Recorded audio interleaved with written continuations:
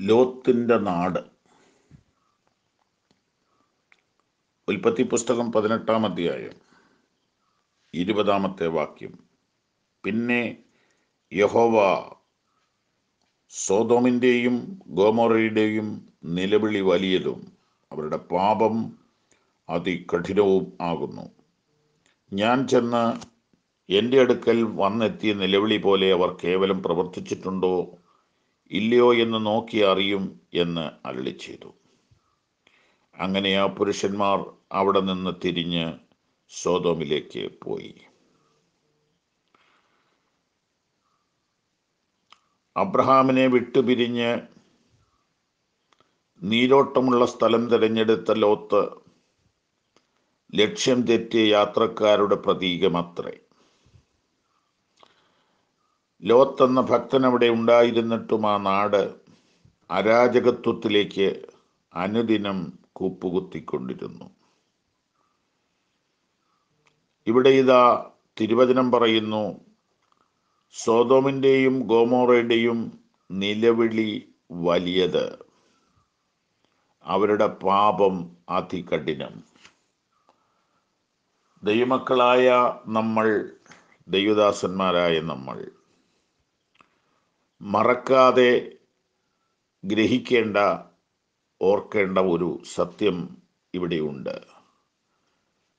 ആര് ഭരിച്ചാലും ആര് തെറ്റ് ചെയ്താലും ആര് അനീതി ചെയ്താലും കാണുന്ന കേൾക്കുന്ന ഒരു ദൈവം ഉയരത്തിൽ ഉണ്ട്.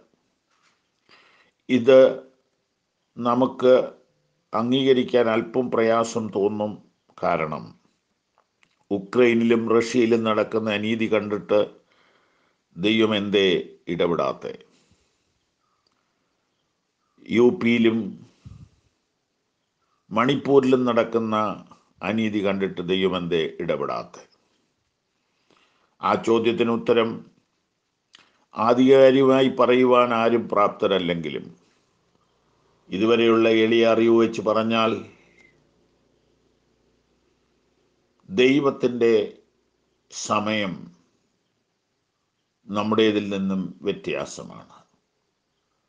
നാം പെട്ടെന്ന് ക്ഷമ നശിക്കും നമുക്ക് പെട്ടെന്ന് പ്രതി പ്രതികാരം ചെയ്യാനുള്ള വാഞ്ചയുണ്ടാകും അങ്ങനെ ദൈവം തന്റെ സ്വഭാവം മാറ്റിയിട്ട് ഒരു ചൂടനായാൽ പ്രതികാരദാഹിയായാൽ സഡൻ ആക്ഷൻ തുടങ്ങിയാൽ ഞാനും നിങ്ങളും ഇനി എത്ര നാൾ ഭൂമിയിൽ കാണും?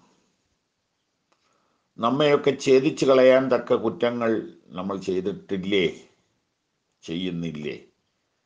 ദൈവം കരുണയുള്ളവനായതുകൊണ്ടാണ് നമ്മെ ഭൂമിയിൽ വെച്ചിരിക്കുന്നത് എങ്കിൽ അതേ കരുണ മറ്റു മനുഷ്യരോട് കാണിക്കുമ്പോൾ നമ്മൾ എന്തിന് വ്യാകുലപ്പെടണം? നോക്കൂ സോതോമിലും ഗോമോറയിലും പാപം പെരുകിയപ്പോൾ പാവപ്പെട്ടവർ പീഡിപ്പിക്കപ്പെടാൻ തുടങ്ങി. അവരുടെ നിലവിളി വലിയത് എന്നുള്ള തിരുവചനം എന്നെ വേദനിപ്പിക്കുന്നു. ആരായിരിക്കും നിലവിളിച്ചത്? ബലഹീനരാണ് നിലവിളിക്കുന്നത്. അനാഥരാണ് നിലവിളിക്കുന്നത്. അശരണരാണ് നിലവിളിക്കുന്നത്. ഇന്നാരാ നിലവിളിക്കുന്നത്? സ്ത്രീകൾ നിലവിളിക്കുന്നു. കുട്ടികൾ നിലവിളിക്കുന്നു. ദരിദ്രർ നിലവിളിക്കുന്നു. ബലഹീനർ നിലവിളിക്കുന്നു. അശരണർ നിലവിളിക്കുന്നു. രാഷ്ട്രീയ പാർട്ടികളുടെ സ്വാധീനമില്ലാത്ത ഇല്ലാത്ത പാവങ്ങൾ നിലവിളിക്കുന്നു. അവർക്ക് നീതി കിട്ടുന്നില്ല. പോലീസ് സ്റ്റേഷനിൽ ചെന്നപ്പോൾ ക്രൂരമായ മർദ്ദനം പരാതി കൊടുക്കാൻ ചെന്നവർക്ക് കിട്ടിയ വാർത്ത നമ്മെ ഞെട്ടിപ്പിക്കുന്നതല്ലേ? നിലവിളി വലിയത്. എവിടെ ആര് പീഡനം അനുഭവിച്ചാലും അവർ വാതുറന്ന് നിലവിളിച്ചില്ലെങ്കിലും അവരുടെ അടിവയറ്റിൽ നിന്നൊരു നിലവിളി ഉയരും. ആ നിലവിളി നേരെ ചെല്ലുന്നത് ഡൽഹിയിലെ പാർലമെന്റ് മന്ദിരത്തിലേക്കല്ല.